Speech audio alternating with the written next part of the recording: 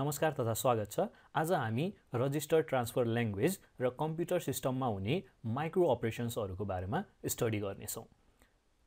र lecture video start गर्नुभन्दा अगाडि यदि यो च्यानल तपाईँले सब्सक्राइब गर्नुभएको छैन भने प्लिज सब्सक्राइब गरिदिनु होला र लागौँ आजको टपिकतर्फ सबैभन्दा पहिला वाट इज माइक्रो अपरेसन्स हामी सबैलाई थाहा छ कुनै पनि कम्प्युटरलाई सबैभन्दा पहिला आउटपुट निकाल्नको लागि डेटा चाहिन्छ।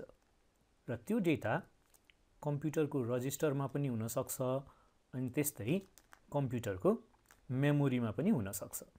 र अब कम्प्युटरले यो डेटामा डिफ्रेन्ट टाइप्स अफ अपरेसन्सहरू लगाएर के निकाल्ने गर्छ त? आउटपुट निकाल्ने गर्छ है? र माइक्रो अपरेसन्स भनेको त्यस्तो लो लेभल अपरेसन्सहरू हो जुन रजिस्टरमा भएको डेटा कन्टेन्टमा डाइरेक्टली पर्फर्म गर्न सकिन्छ। that means the low level operations carried out on the data stored in registers directly is called micro operations यस्तो टाइपको अपरेसन्सहरू सिधै रजिस्टरले सपोर्ट गरिरहेको हुन्छ है these type of operations are directly supported by registers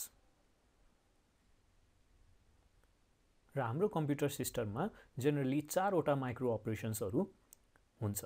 एउटा register transfer micro operations एउटा arithmetic micro operations अनि त्यस्तै लजिकल माइक्रो अपरेसन्स अनि सिफ्ट माइक्रो अपरेसन्स नाउ यदि कुनै हामीले program high level instruction use गरेर लेखेका छौँ भने अब कम्प्युटरले फर्स्ट अफ अल त के गर्छ भन्दाखेरि त्यो सबै हाई लेभल इन्स्ट्रक्सन वा अपरेसन्सहरूलाई पहिला माइक्रो अपरेसन्सहरूमा कन्भर्ट गर्छ। अनि त्यो माइक्रो अपरेसन्सहरू बल्ल गएर एक्जिक्युट हुन्छ त्यसपछि बल्ल आउटपुट निस्किने गर्छ। किन भन्दाखेरि यो माइक्रो अपरेसन्स मात्रै कसले सपोर्ट गर्छ त भन्दाखेरि रजिस्टर्सहरूमा डेटा स्टोर भएको हुन्छ र रजिस्टरहरूले सपोर्ट गर्ने भनेको यो माइक्रो अपरेसन्सहरू मात्रै हो। सो यो हाई लेभललाई सपोर्ट गर्दैन है? फर इक्जाम्पल यदि तपाईँले डिभाइड अपरेसन जुन हाई लेभल अपरेसन हो त्यसलाई कम्प्युटरलाई दिनुभयो भने फर्स्ट अफ अल कम्प्युटरले के गर्छ त भन्दाखेरि यसलाई चाहिने आवश्यक लो लेभल माइक्रो अपरेसन्सहरू यहाँ पहिला लेख्ने भयो। फर इक्जाम्पल हुनसक्छ एडिसन चाहिन सक्छ यसको लागि त्यस्तै सब्ट्र्याक्सन चाहिन सक्छ है? अनि त्यस्तै सिफ्ट अपरेसन्सहरू चाहिन सक्छ है? यो सबै अपरेसन्समा कन्भर्ट गरिसकेपछि बल्ल एक्जिक्युट गरेर आउटपुट निकाल्ने गर्छ है? किन त भन्दाखेरि यो लो लेभल अपरेसन जुन माइक्रो अपरेसन्स हामीले भनिरहेछौँ यो रजिस्टरले सपोर्ट गर्छ है? र यो अपरेसन जुन हाई लेभल छ यसलाई चाहिँ हाम्रो रजिस्टरले सपोर्ट गरिरहेको हुँदैन है? र यहाँ दिएको छ the operations on the data in registers are called micro operations है? These operations are supported by registers for example shift load clear increment यो चाहिँ माइक्रो अपरेसन्सहरूको इक्जाम्पल हो जस जुन डाइरेक्टली रजिस्टर्सहरूले सपोर्ट गर्छ है?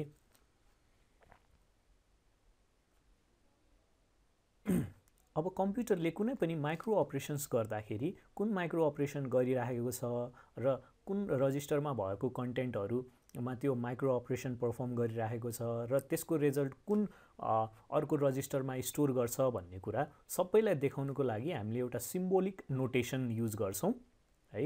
अनि त्यही सिम्बोलिक नोटेसन्सबाट बनेको हामीसँग एउटा छुट्टै ल्याङ्ग्वेज छ जसलाई हामी के भन्छौँ?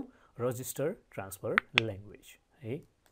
अब यहाँ लेखेको छ for any function of the computer the register transfer language can be use to describe the sequence of micro operations है।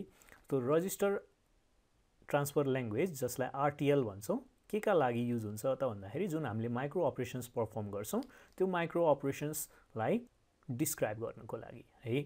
अब यो आरटिएल ल्याङ्ग्वेजमा डिफ्रेन्ट नोटेसन्सहरू छ। जस्तै रजिस्टरहरूको लागि एउटा नोटेसन मेमोरीको लागि एउटा लो नोटेसन्स होइन? त्यस्तै बसको लागि एउटा नोटेसन्स है? सो त्यो नोटेसन्स हेरौँ। जस्तो एमएआर भन्ने नो नोटेसन जुन छ यसले मेमोरी एड्रेस रजिस्टरलाई त्यस्तै पिसीले प्रोग्राम काउन्टर आइआरले इन्स्ट्रक्सन रजिस्टर्स है? त्यस्तै आर वान आर टू यिनीहरूले रजिस्टरलाई इन्डिकेट गर्छ होइन? त्यस्तै हामीले पिसिएच लेख्यौँ भने high level bits of program counter भन्ने बुझ्ने भयो है। जस्तो प्रोग्राम काउन्टर एट बिटको छ भने चारवटा बिट भनेको हाम्रो फर्स्ट चारवटा बिट्स भनेको पिसिएच त्यस्तै लास्ट चारवटा बिट्स भनेको पिसिएल हुनसक्छ है। अब त्यस्तै एउटा रजिस्टरबाट अर्को रजिस्टरमा डेटा ट्रान्सफर भइरहेको छ भनेर देखाउनुको लागि हामीले चाहिँ यो एरो युज गर्छौँ। फर इक्जाम्पल यो स्टेटमेन्टले आर वान रजिस्टरमा भएको कन्टेन्ट आर टू रजिस्टरमा ट्रान्सफर हुँदैछ भनेर इन्डिकेट गर्छ। त्यस्तै हामी इफ स्टेटमेन्ट जस्ता कन्ट्रोल फङ्सन्सहरू पनि सिम्बोल्स युज गरेर रिप्रेजेन्ट गर्न सक्छौँ। फर इक्जाम्पल यो स्टेटमेन्टले के इन्डिकेट गर्छ भन्दाखेरि यदि पीको भ्याल्यु वान छ भने रजिस्टर आर वानमा भएको कन्टेन्ट आर टूमा ट्रान्सफर गर भन्छ। अब यो फिगरमा यो जुन कन्ट्रोल स्टेटमेन्ट छ यसलाई चाहिँ इम्प्लिमेन्ट गरेर देखाएको छ। अब यहाँ एउटा कन्ट्रोल सर्किट छ जसबाट हाई वा लो सिग्नल्सहरू यो रजिस्टरमा गइरहेको छ। अब यहाँ यदि पी इक्वस टु वान भयो भने यो लोड भन्ने जुन सिग्नल देखाएको छ यो हाई भयो। अनि त्यति बेला यो रजिस्टरको लोड भन्ने पिन जुन छ त्यो एक्टिभ हुने भयो र कन्टेन्ट आर वानको कन्टेन्ट आर टूमा जाने भयो है? सो अनि अब यो सबै काम हुने भनेको सेम क्लक क्लक पल्समा हो है? त्यस्तै हामीले दुई वा दुईभन्दा बढी अपरेसन्सहरू एउटै क्लक पल्समा हामीले एक्जिक्युट गराउनु पर्नेछ त्यस्तै एउटै कन्डिसनमा एक्जिक्युट गराउनु पर्नेछ भने हामी स्टेटमेन्ट्सहरू यसरी लेख्न सक्छौँ। सो यो स्टेटमेन्टको मिनिङ के हो त भन्दाखेरि if P equals to one भएको केसमा रजिस्टर आर फाइभमा भएको कन्टेन्ट आर थ्रीमा ट्रान्सफर गर त्यस्तै इन्स्ट्रक्सन रजिस्टरमा भएको कन्टेन्ट मेमोरी एड्रेस रजिस्टरमा ट्रान्सफर गर र सबै सेम क्लक पल्समा हुन्छ है। अब यो टेबलमा different notation of RTL language भनेर दिएको छ है। जस्तो क्यापिटल लेटर्स अनि नुमेरल्सहरूले दियो भने त्यो सबैले के डिनोट गर्छ? रजिस्टर फर इक्जाम्पल एमएआर दियो भने मेमोरी एड्रेस रजिस्टर भयो आर टू भनेको त्यो तपाईँहरूको आर टू रजिस्टर भयो होइन? अब त्यस्तै प्यारेन्थेसिस दियो भने denotes the parts of registers होइन? For example R two zero seven दियो भने आर टू रजिस्टरको जेरोदेखि सेभेन्थ बिट भन्ने बुझियो। त्यस्तै आर टू एल दियो भने आर टू रजिस्टरको लोवर अर्डर बिट्सहरू भन्ने बुझियो है? अनि त्यस्तै यो एरोले के इन्डिकेट गर्छ भन्दाखेरि transfer of information for example R two यसरी एरो आर वान दियो भने आर वानको कन्टेन्ट केमा ट्रान्सफर गर भनेको हो आर टू रजिस्टरमा त्यस्तै यो कलन जेनरली हामीले के गर्छौँ भन्दाखेरि कन्ट्रोल फङ्सन्सको लागि युज गर्छौँ है। अनि त्यस्तै कमा अब कमा भनेको एउटै क्लक पल्समा दुई वा दुईभन्दा बढी अपरेसन्सहरू साइमल्टेनियसली गर्नुपर्ने छ भने यसरी कमा युज गरेर छुट्याउने गर्छौँ है। त्यस्तै यहाँ अब मेमोरी रिड जुन अपरेसन्स छ त्यसलाई आरटिएल ल्याङ्ग्वेजमा कसरी रिप्रेजेन्ट गर्ने भन्ने कुरा देखाइरहेको छ। अब फर्स्ट अफ अल यो मेमोरी जुन एड्रेस रजिस्टर छ यसले चाहिँ के होल्ड गर्छ भन्दाखेरि मेमोरीको एड्रेस होल्ड गर्छ है? अब यो स्टेटमेन्टले के इन्डिकेट गर्छ भन्दाखेरि जुन एमएआरले स्टोर गरेको एड्रेस छ त्यो एड्रेस मेमोरीमा गएर हेर्ने र त्यहाँ चाहिँ जुन भ्याल्यु हुन्छ त्यसलाई सिधै केमा ट्रान्सफर गर्ने त आर वान रजिस्टरमा त्यस्तै मेमोरी राइट जुन अपरेसन छ त्यसलाई हामी यस्तो टाइपको स्टेटमेन्ट्सहरूले रिप्रेजेन्ट गर्न सक्छौँ। यसले के भन्छ त भन्दाखेरि मेमोरीको यो एड्रेसमा रजिस्टरमा भएको भ्याल्युलाई ट्रान्सफर गर्ने भन्छ है।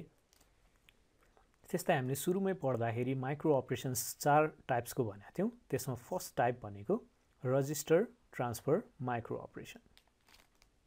त्यस्तो टाइपको माइक्रो अपरेसन्स जसले एउटा रजिस्टरबाट अर्को रजिस्टरमा त्यस्तै रजिस्टरबाट मेमोरीमा मेमोरीबाट रजिस्टरमा त्यस्तै रजिस्टरबाट बसमा भ्याल्युजहरू ट्रान्सफर गर्छ।